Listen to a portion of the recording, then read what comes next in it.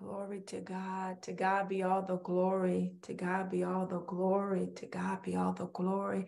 Good morning to each and every one of you. Hallelujah. That song was talking about waiting on the Lord. It's talking about waiting on the Lord. Waiting on the Lord is one of the most powerful things that we can do as believers. There's so many blessings. We're talking about blessings. See, when the world thinks of blessing, they sometimes think of tangible things cars, houses, jobs, marriages. Those things are great. But when you look in the Bible, if you just do a search, when it's man, blessed is the man, and read about all the different things that are blessing. Oh my gosh, God doesn't think like we do. I'm not saying those things aren't great, but even waiting is a blessing. Let's look at Proverbs 8 34 through 35. I know we're talking about vision. We're talking about prophetic vision. We're in a series. We're in part three of a series talking about prophetic vision, talking about vision, God vision, prophetic vision. Vision setting should be of the Lord. Goal setting should be of the Lord. We want God goals, not personal goals because our personal goals can be the wrong goals. Oh, we're talking about prophetic vision. I put that word prophetic, which means it comes from God. It's revelatory. As you sit and as you wait on the Lord, the visions become clear. So in Proverbs 8 34 through 35, Proverbs chapter 8, verse 34 through 35, it says, Blessed, blessed is the man that heareth me. So hearing, do you know everybody doesn't hear God? It says, Blessed is the man that heareth me. And in the context of Proverbs chapter 8, it's talking about wisdom. You can apply this to vision. You can apply this to the words of the Lord. You can um, apply this to everything that's revelatory that comes from God. He says, Blessed the man that heareth me. But then it has a comma, and then it begins to tell you how you hear him, a key for hearing him. And last week we talked talked about waiting is a key for receiving vision or just hearing God. It says, watching daily at my gates, waiting at the post of my doors. For whoso findeth me findeth life. Again, when he's talking about me, this is a context of wisdom, but this can be applied to vision as well. It says, and shall obtain favor of the Lord. So strategies come, wisdom comes, instruction comes, guidance comes. What? As you sit, as we sit and wait upon the Lord. God tells us in the scripture, we get a, a, an answer, a solution, a remedy for everything. How do I hear from God? How do I see God's vision for my life? Wait on the Lord. That's what the psalmist was singing about waiting. I will wait on you. I will in your presence. I mean, I'm not a psalmist, but that's what the words were waiting on God. So I declare that we have the capability, the patience. One, remember, I talked about one of the gift of the Spirit to wait on God to see His vision for our life, His vision for our family, our community, our works, our assignments. I'm going to keep speaking that over you, that you will see as you wait. You will see as you wait. And the more you wait, oh, this is good right here the more you wait, the clearer you see. The more you wait, the clearer you see. The more you wait, the better you discern. The more you wait. And I love it in Proverbs 8 34 through 35. It tells you how often do you wait. It says waiting daily. That means every single day you are to practice waiting on the Lord.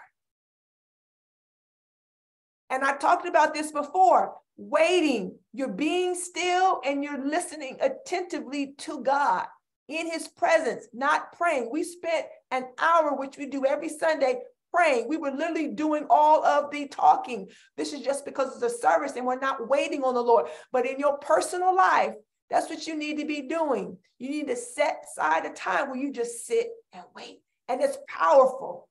It's powerful. So God just wanted me to remind you that that's your key for you to get your prophetic vision. Cross out our visions. We want God's vision because God's visions are the ones that's going to come to pass. God's visions are the ones that He's going to um, finance. God's visions are the ones where He's going to give you the grace to complete the work. Because without His grace, you are not going to be able to complete those assignments. You're going to get weary in well doing. But when He's in it, when He's in the midst, He's going to anoint you. He's going to fortify you. He's going to strengthen you. He's going to empower you. Empower you. He gives you everything that you need to fulfill your God ordained vision. So I need to emphasize that and keep emphasizing that the center is Christ. The center is God. The center is not me. It's not a self centered vision. Hear me. We don't want self centered visions. We want God visions. Amen. So let me recap what we were, ta- God, God Almighty, Lord, we thank you. We thank you, Lord, that we have yielding hearts. We have submissive hearts. We thank you, Lord, that you give us the grace to wait. You give us the desire to wait, to know and to see what you want to reveal to us. We will receive it in Jesus' name. I will wait on the Lord. I will wait on the Lord.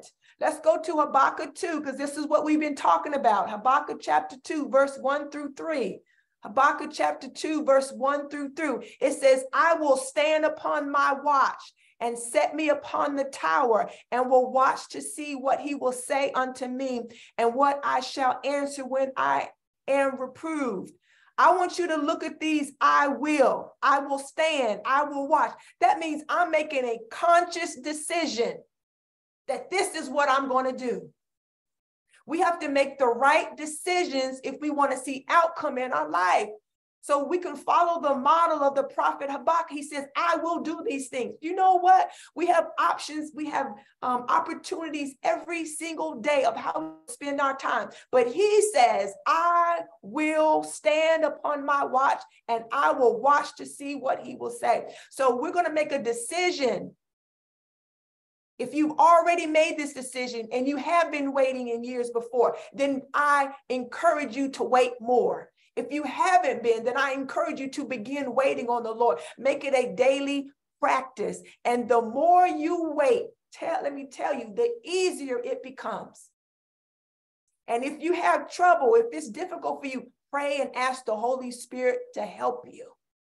See, the Bible says if any man lack wisdom, let him ask of God. You can ask God, but do you know that the answer may be okay? You asking for wisdom. Now I'm giving you the strategies on how to get wisdom. Uh, they that wait, as you wait, wisdom will come. As you wait. So God doesn't always just give us what we need instantaneously. Sometimes He says, I need you to wait. Because do you know that wisdom? Is the most highest thing that we can acquire in life. Read Proverbs 4. Wisdom is the principal thing. Wisdom is a treasure. Wisdom is a jewel. So God's just not throwing out wisdom just any and everywhere. Sometimes you have to seek it because it's a treasure. It's far above rubies. it's more than silver, than gold. Read Proverbs 8 and 4 read Proverbs chapter 8, read Proverbs chapter 4. It talks about wisdom and all that wisdom is. So, glory to God. So, we're talking about um, in part three why is it important to write the vision? And we went through five, four of them last week. I'm going to just state what they are, and then I'm going to move on to number five and six today. So, why is it important to write the vision? We talked about number one, because God said to. Number two, why is it important to write the vision? Because vision becomes clearer as you write it. Number three, why is it important to write the vision? Because we learned that another definition, if you do a word study, right, look up the words, another definition of write means to decree. So as you're writing the vision, you are declaring the vision. Each time you write the vision, you are declaring the vision. So, vision, when declaration doesn't always have to be verbal, it can be written. You write decrees. Glory to God. Number four, why is it important to write the vision? We talked about they that read the vision can run with it, not just men, but angels. Angels see and read visions. So it's important to write them just not for man, but for divine beings. We talked about that last week. So I want to focus on number five. This is another important reason why you want to write the vision. These sound so simple when you really think about them, but do we do them? you can read it. Why is it important to write the vision? So you can read it. If I have this concept, if I have this, this revealed sight that God has opened up to me, it's in my sight, it's in my head. But I need to put it on paper. So what? So that I can read it so that I can rehearse it, so I can meditate on it. Have you ever been in a conversation or with someone, either in your natural life or your spiritual life, in church, in a gathering, in a teaching, and you know, online, in person, and or God says something to you, and then afterwards you forget what was said? Next week, two years, three, you forget. But if you take the time to write it down, now you're able to read it. And God began to show me people in the Bible that reference written things. Who's our greatest example setter? Jesus. Well, when Jesus in Matthew 4, when he was being tempted, what did he repeatedly say when the enemy came upon him to tempt him each and every time? He started each response each reply, he said, What? It is written. Jesus himself said, It is written. So that means Jesus has been reading what was revealed, what was spoken. So if Jesus, who's our greatest example setter, does it, why shouldn't we? Why shouldn't we? Sometimes it may may not be convenient for you to write it, but it's important.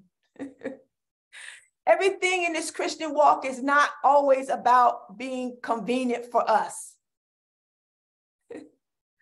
so you want to read it.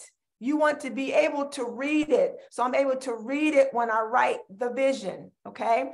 So this is important. And then, even what God wants me to remind you also is if you look at um, Abraham, Let's look at Romans chapter 4, verse 17, because I'm teaching today.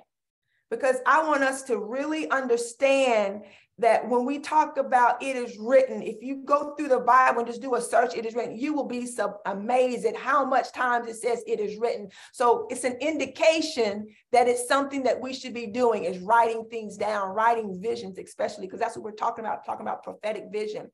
Romans 4 17 it says, as it is written, I have made thee a father of many nations. Well, that's a decree, that's a promise that God has spoken to Abraham. But he's telling us, as it is written, I have made thee a father of many nations. What is God saying about you? What has God decreed over your life?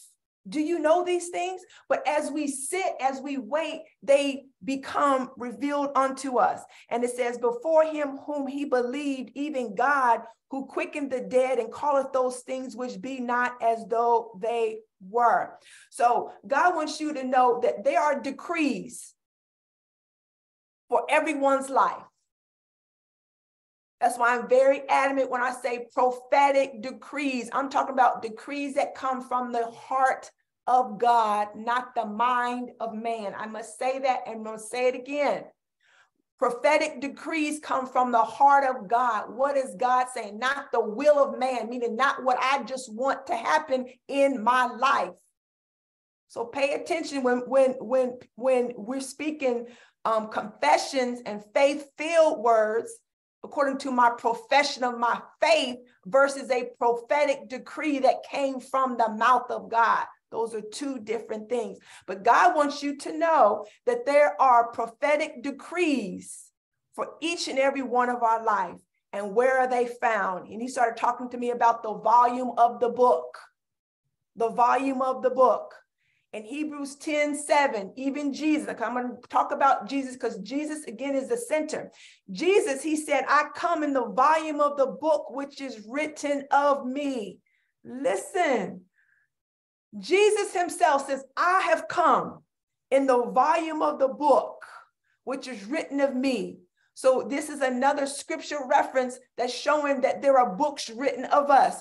A lot of times when we hear the book, that's in heaven, we think of the book of life, meaning my name is written in the book of life.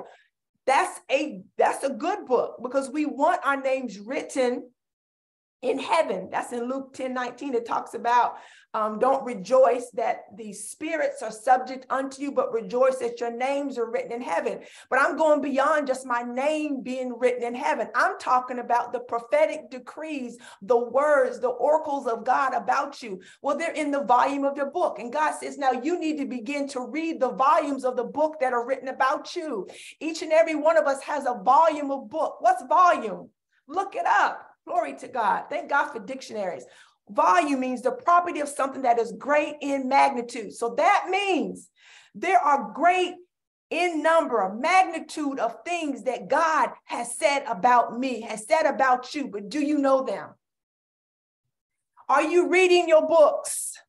Do you know what's in your books? Do you know the language, the communication that God has spoken about your life? Well, he's saying during the volume of the book, He's saying that in the volume of the book are written decrees about you. So we need to find our books. And how do we find them? He's given us the key. That's what we've been talking about waiting. So as you wait, you begin to get prophetic vision and sight of the prophetic degree decrees that are written about your life. That is amazing to me. Because you know what? I'm not smart enough. I'm not wise enough to know what I need to be doing in life. Because why? I didn't create myself. God created me. He knows everything about me. He knows the number of my hairs. He knows what I'm going to do in the next two seconds. He knows what I'm going to say. But I need to be in alignment with God in all of my endeavors. Hallelujah. Thank you, Jesus. So, um, what God wants you to also know is that, okay, well, Lord, how do I, how do I find my books. When we talk, one was waiting on the Lord. Another way he told me how you find your books, how you're able to read your books. He said, when you read the book, you begin to see the book written about you. So, what he's saying is, when you read the Bible, when you take time, I call it like you're just exhaustive in the word. He's saying the more you see the book, meaning the holy book, which is mean the Bible, the more you see that book, you will see your personal books. So that tells me, see, I do self evaluations. Okay, God, then that means I need to spend more time in the word so that I can see my prophetic vision that you have for my life. And then he began to tell me that these books if you look through the scriptures, um, sometimes it'll say the volume of the books, but sometimes it talks about scrolls in heaven. So there are scrolls in heaven written about me and you, written about your community. Everything in life, there's a written book about it. Glory to God. But they're guarded by angels of light and revelation. So that means there's a seal around these visions and these prophetic they're hidden from man. They're hidden from the demonic realm. There's angels there's there's actual different types of angels but i'm talking specifically about watchman angels that guard scrolls that guard revelation that guard um, information. Do you know that there's a war because the gates of hell we talked about this before too but i'm just reminding us of how all these things come together. When jesus asked them um, who do men say that I am? And Peter said that you are the Christ. And he said, flesh and blood has not revealed that unto you, but my Father. And then he began to say, upon this rock, I will build my church and the gates of hell shall not prevail against it. There is a war against you getting your prophetic decrees about your life. The enemy does not want you to be able to see and to know and let alone operate and flow in it. But the first key, I can't operate and flow in it until I see it. So there's literally wars going on all the time, nonstop, to keep your eyes blinded so you can't see, to keep you so busy that you cannot be still and hear and see what God wants you to do. Because when you fulfill your mission, it brings glory to God. When you fill your works, your assignments, it brings glory to God. It establishes the kingdom, it advances the kingdom. Do you understand every time? That's why we ought to be celebrating and encouraging and lifting everyone up because each time one of us fulfills our works in our assignment, it brings glory to not just God, but it advances the kingdom of God. It destroys the works of the enemy. Come on. We are not an island to ourselves. We're not here just to get me, mine, and my families. We are here to conquer and dominate and rule and reign. The Bible says, Thy kingdom come, thy will will be done in earth as it is in heaven. We want the blueprints of heaven. We want the visions of heaven to be implemented in the life, in the life, in, in life form here on earth. That means I want each and every single body in the world to fulfill their purpose. Every problem that's in this world, don't you know God created somebody and some bodies with the solution and the answer. But if people don't sit and be still and wait for the Lord, they won't know what they're supposed to be doing. We got gaps here, we got gaps there, but this person was created to solve that problem. See, see, see, see, see, see, see, see the visions of the Lord. I declare you'll see the visions of the Lord. I declare you will wait to see the visions of the Lord. You are an answer. You are an answer and a solution to people, to places, to communities, to generations. Hallelujah. Your blueprints See your blueprint. See the blueprints of heaven. Begin to see them. Begin to imagine them according to the word of God. Just sit and wait. Good God Almighty. I see it, God. I see it. You're working. You're working. You're working. You're working. I will wait. I will wait upon my watch. I will wait to see what it is that you want to do today. Hallelujah. That's what God told me. He gave me a revelation. He says, when, he, when the Bible says, Give me this day my daily bread, don't you know that that's revelation? That's not the logos. That means God wants you to come before Him every single day and see what the earth needs today. Because what the earth needs today, which is today, January 8th, it may not, it may not need it January 9th, January 10th. Every day we ought to be waiting before the Lord so that I know what, so I know what earth needs. So as you begin to sit before him, you begin to ascend into the hill of the Lord and you begin to see what the earth needs. And that's what you pray. Ah, what does my family need today, God? What do I need today? Show me my prophetic vision for today. Hallelujah. Glory to God. So Jesus, Lord, we thank you for your word. We thank you, Lord, that your word is cutting. We thank you, God, that your word is piercing. God, we thank you that your word is directing our steps, God, that we are visionaries of the Lord. We are visionaries of the Lord, goal setters of the Lord. Thank you, Jesus. Oh, God says, You want to see, I'll show you. God says, You want to see, I will show you. I will show you. I will show you. I will show you. Ha, shout out, whoa, shout now, wait, wait, wait on me, and I will show you. I will show you. I, God, will show you. I just want to thank God for showing. Lord, I just want to pause and thank you for showing. I want to pause and thank you, God, for revealing. Pulling back the curtains, Lord, revealing to us what you want to show us. Oh. oh, every work is accomplished in Him, every work is fulfilled in Him. You will fulfill every work. Ah, the works of your hands are blessed, God says. The works of your hands are blessed as you stay in me.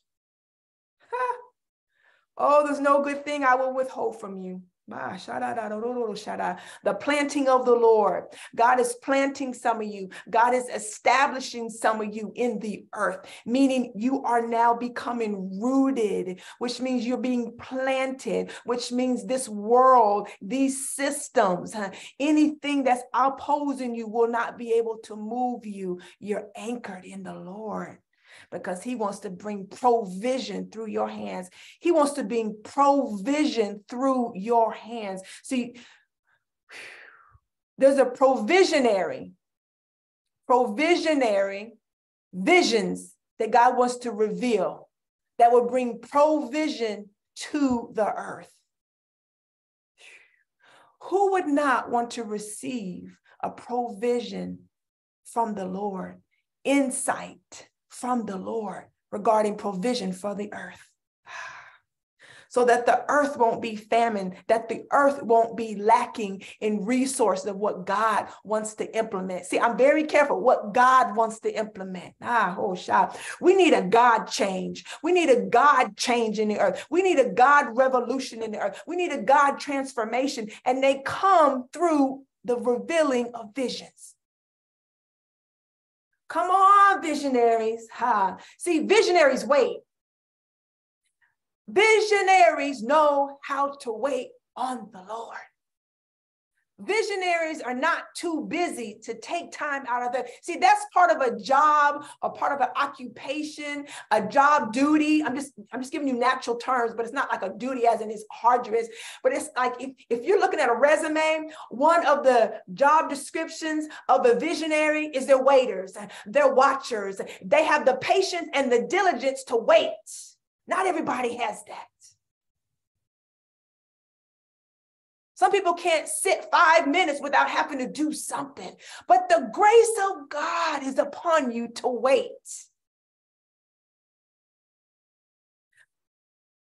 I pray God will arrest you to wait because it's that important.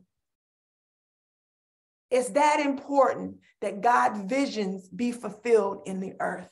Jesus. God, we thank you.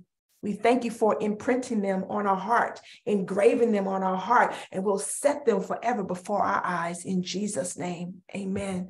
Amen. Amen. Okay. Number six, let me tell you why it's important to write the vision. Let's look at, we're in Habakkuk chapter 2, verse 3. It says, For the vision is yet for an appointed time, but at the end it shall speak and not lie. Though it tarry, wait for it, because it will surely come, it will not tarry.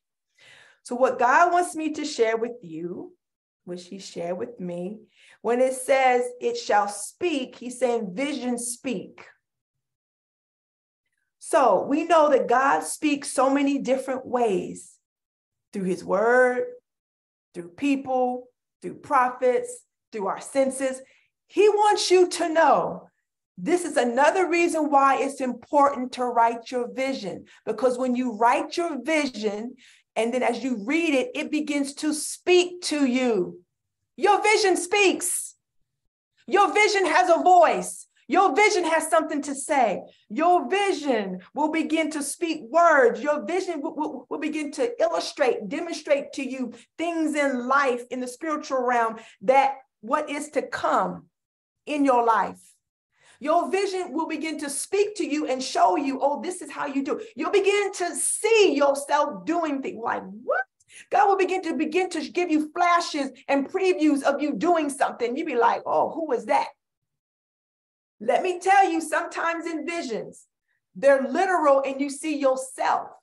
But sometimes visions, they're other people, but they represent things.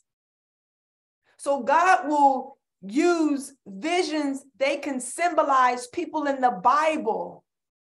of the works and the visions that God had them to do. Or it could be someone in the natural. It can be a, a natural man, or it could be a spiritual person or a natural person. So it's important. So that's how you're understanding and interpreting your visions. Excuse me, your visions will come.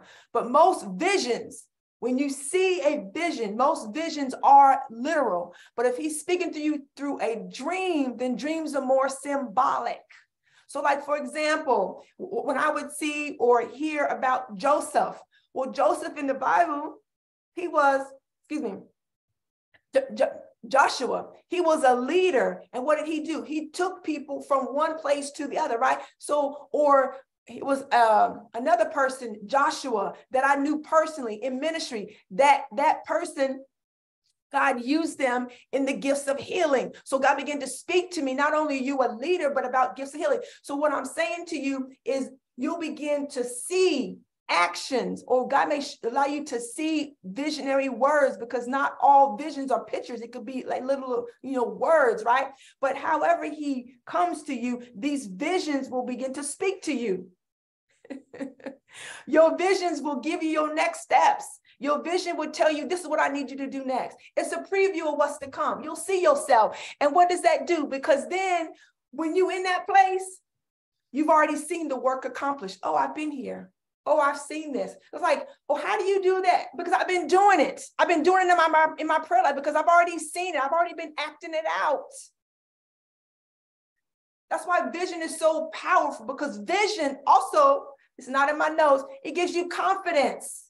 It'll give you confidence. It'll reassure you because then you're like going through your daily life and then God will show you, shh, you remember that vision? Or as you're talking to someone, shh, that vision will just, he'll bring it back to you. It'll be like a memory recall.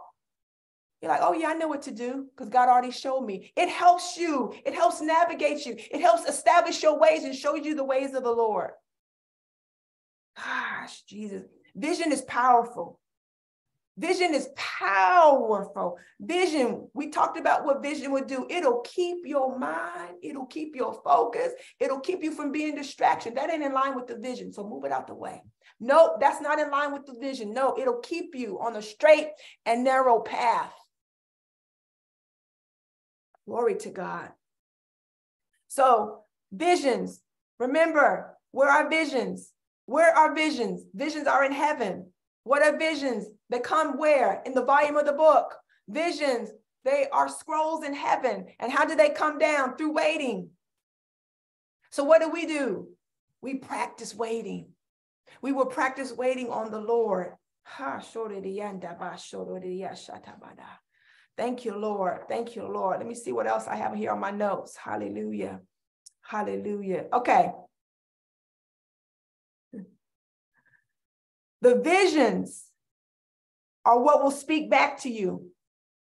As you begin to ask questions about your vision, well, Lord, well, how do I do that? Well, well where is that going to come from? What did it, what did it, did it, what, who, what, when, why? As you start making inquiries, as you take time, because I said this before, asking questions is a form of seeking. And the Bible says Ask, seek, and knock. You seek and you will find. So as you keep seeking, as you keep putting those questions before the Lord, making inquiries, God saying your vision will respond to you. Your vision will speak to you. but the question is, are you giving attention to your vision? Are you attending to your vision? Are you rehearsing your vision? Are you going back and reading your vision? Are you praying over your vision? Are you putting your vision before the Lord? Are you prophesying your vision? Keep your vision before you. Your vision, we talked about this, will keep you, will sustain you, will motivate you. Your vision, your God ordained vision. Ah, Ah, Seek and you shall find is a promise. Seekers are finders. I'm a finder. How do you find that? How did you find that? How did you know that? Where did that come from? I'm a seeker. I'm a seeker. I'm a lifelong seeker of God, the things of God. And when you do that, you become knowledgeable about the things of God. God says you find all kinds of treasures and obtain them for their betterment, advancement. Oh, shoot, Jesus. Oh my gosh. Isn't it great to be in a place where you just know things? Oh, yeah, I know how to do that. I know how to do that. It just comes. Why? Because I'm a seeker. It's a reward. That's why he said, he said he's a rewarder of them that diligently seek him.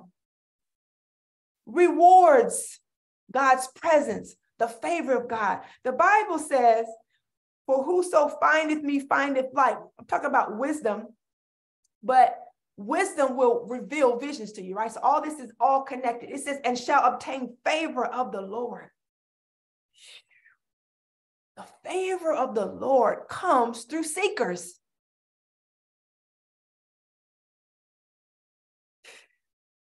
There's a saying, or was a saying, favor ain't fair. It is fair because I put in the time of waiting and watching.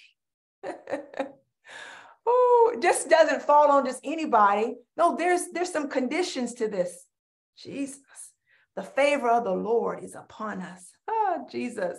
We will be daily seekers. I'm just speaking life right now. We'll be daily watchers, daily seekers, and we shall obtain favor of the Lord. We shall do great exploits for the Lord. The Lord is with us in all of our endeavors. The Lord is propelling us. The Lord is, is anchoring us. He's anchoring us because we have sought and sat in the counsel of the Lord. Stand in the counsel of the Lord. Your vision will give you counsel. Your vision will give you instruction and clarity. We need it. We need it. Sure. So we know what to receive, we know what to reject. I just had a dream this morning. A person gave me a beautiful, beautiful, they made this cake and gave it to like, here you go. I said, not right now. That's wisdom. That's what that cake looked good. It was like, I baked this cake for you. I said, not right now. That's wisdom. We have to know. See, your vision will speak to you so no, that's not part. That that opportunity, that gift, that purchase did not come from God. It's a setup. So God wants us to be able to make the right connections, the right decisions, and it comes through waiting and seeking the Lord.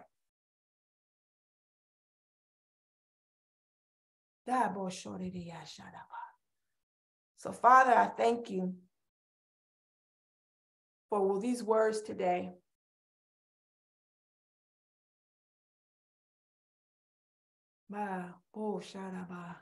I thank you, Lord, for every hearer. Blessed is he that heareth me. That's the word of God, that they are blessed because they hear. They're blessed because they're waiters. They're blessed because they're watchers. Help us to wait, Holy Spirit. Help us to wait. Help us to wait on you daily, on you continuously. We thank you and praise your name. In Jesus' name, I pray. Amen.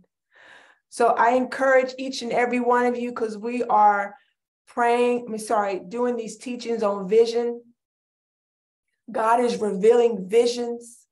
I encourage you to take time to write your vision and wait to see what he will say to you. Marvelous are his works unto you. Marvelous things he wants to reveal to us, to his children. Hallelujah. Thank you, Jesus. Ah, for the great things, the great things, the great things, the great things, the great things, the great things that the Lord wants to do through us and give us for his glory. God, I thank you. In Jesus' mighty name, amen, amen, amen. Lord, I thank you for hearing ears today. And I thank you, Lord, that they won't only be hearers, but they'll be doers of the word in Jesus' name. Because in the Bible, if you read in James, it talks about a hearer only, you will be deceived. But when you are a doer, you will be blessed. We want the blessings of the Lord. Oh, Jesus. Glory to God. So um, Father, I just thank you for those that will watch the replay, Father. Those that don't know you, I'm going to go over Romans 10 9 and 10. It says that if thou shalt confess with thy mouth the Lord Jesus and believe that God raised him from the dead, you shall be saved. So, Father, I thank you that those that don't know you, Lord God, I thank you, Lord, as, as they repeat after me that they want to be saved, that they want to have eternal life with you, that they want to uh, fulfill the purpose and the vision that that you have given unto them. So that so I confess with my mouth that that Jesus is Lord and that God raised him from the dead and I am saved. Amen. Amen. Amen. I just want to take this time also to thank those of you who have been supporting the ministry financially. Even though we are virtual ministry, we have great works to do. And in the process of securing a space, y'all know that takes finances, that takes money. So I want to thank each and every one of you that are disciple, those of you that have connected to the ministry and that are faithful tithers, those of you that are not, that are not joined to the ministry, but you support the ministry, that you come on when you can, that you come on each week and you still sow. God bless you. Thank you. Thank you. Thank you. Thank you. Thank you, Lord. I thank you, Lord. I thank you for the blessings. I thank you for the financial, Lord God, those that give what they can. There's no mount too big, too small, God. I thank you for every cheerful giver in the name of Jesus, Father. And I thank you that you will return on to some of them 30, 60, 100 fold in the mighty name of Jesus. Hallelujah. Glory to God. So I would just want to give each and every one of you an opportunity to um, sow into the ministry. Um, so you all know where the link is. I pray you can see it. Um, MIT Deborah, is it up? Is it up? Okay, great. Thank you. If you like to donate, you can um, go through PayPal or a debit or a credit card. There's a website right up there. Um, that's an acronym for New Birth Global Prayer Ministries, nbgpm.org backslash donation. Or if you want to write a check, you can send it to P.O. Box 558, Bowie, Maryland. 20718. You would write the check out to New Birth Global Prayer Ministries. So, Father, I thank you for the cheerful givers. Father, I thank you for those that are sowing, those that have sowed. Oh, Father, I thank you that you said that you will rebuke the devourer for you, you will rebuke the devourer on their sake, oh God. Father, you said that you will pour out, you open, you will open up the windows of heaven and pour them out a blessing that they don't have room enough to receive it, oh Father. So I just thank you and praise you and give you glory, honor, and praise, oh God, for moving upon their hearts to give unto New Birth Global Prayer Ministries. Oh Father, I thank you for them. In Jesus' mighty name, we have prayed. We do pray. Amen. So God bless you all. Thank you for joining us on again on today. Um, I'm going to turn it over to MIT Deborah, and she's going to close us out in prayer. I just want you all to be very encouraged I just want to say this, um, MIT Deborah, uh, before um, I close out. I just really want to encourage you all here that God cares about you. Really. God cares about you, and God has something to say about you. God wants to communicate with you. God wants to show you great and mighty things sit before him. I want to tell you, I don't care if you go and say, Well, God, you didn't say nothing. That's why it said daily waiting at the doors, daily waiting at the door. Don't let time, never let time be a discouragement of you not hearing and seeing. Trust me, trust me, because it could be the very thing that the enemy is working against you so that you cannot see and hear because he knows the word. If they wait, they're going to see. So let me distract them. Let me keep them busy. Let me divert their attention. It can be a trick of the enemy. So it's a promise. You seek, you will find. So don't let time discourage you. God loves you. He has a great and an awesome plan for you that was foreordained before the foundation of the world. And you want to know, I want to know everything that God says about me. Because God Bible says that his thoughts towards us are more in number than the number of sand. That's in um, Psalms 139. His thoughts towards us are precious, they're valuable. So I want to know what is God saying about me? Because sometimes I don't have good thoughts to say about myself. Oh, but God, He says, my thoughts towards you are precious. He says they're far, they're precious, like rubies. You're near and dear to God, and He loves you, and He loves you unconditionally. Amen. Amen, amen, amen. We just thank Prophetess Carrie for that powerful word that she brought forward to us. I just thank you for each and every one of you on the line who came to hear the word. But I do beseech you not to just be a hearer of the word, but be a doer of the word. So, in closing, Father God, I just thank you for the people who have come to hear and do what you have said today through the message that was given to us, Lord God. Let it not be put up on the shelf but let it us use it, Lord God. Let us apply this word that Prophetess Carrie has brought forth from you to go and do what you have told us to do, Father God, to write the vision. So I just pray for grace over the people today, Father God, to wait upon you, to wait upon you daily, Father God. I just ask you, Father God, to give them the wisdom as they seek you, Lord God, for the vision, and as they seek you to ask you about the vision, Lord God, what it is for them to do, what it is for them to apply it, how they must apply it, Lord God. Let them write the vision as Habakkuk said, write the vision, write the vision. Even if you don't have the full vision, just start to write Right, right. I pray, Lord God, that they will start to write, even while we're talking, even as I'm praying this closeout prayer, Lord God. Let them just write the first sentence, write the first word, start to write, write, write, write. And I thank you, Father God, for giving them the grace to write, Father God. Thank you, Father God, for giving them the grace to apply the vision. Thank you, Father God, for just peace in their life, Lord God, as they write the vision, that they will start to understand the vision, Father God. I pray peace over them this day, Father God. Peace to, peace to carry them out throughout the week, Lord God, until we meet again on this Sunday, Lord God the Sunday to come and worship you, the Sunday to come and praise you. I thank you, Lord God, for long life over them, Lord God. I thank you for the words that you will impart into their hearts this day and every day do, throughout the week, Lord God. I thank you for just giving them the grace to wait upon you, Lord God. And I thank you for the things that you will reveal unto them, Lord God, as they wait, Lord God. Thank you for their hearts, Lord God. Thank you for the hunger and the thirst over that you have imparted into them, Lord God, and that they will become seekers, because as seekers, they will be finders, Lord God. Thank you, Lord God, for grace, grace and mercy, Lord God. This day you have given us mercy. Every day you have given us your mercy. Let us seek the mercy of God. In the name of Jesus, I pray over each and every one of you. In the name of Jesus, I pray. Go forward and do God's bidding in Jesus' name, amen. Amen. Amen. Amen to that. Amen. God bless you all. Bye bye. God bless you all.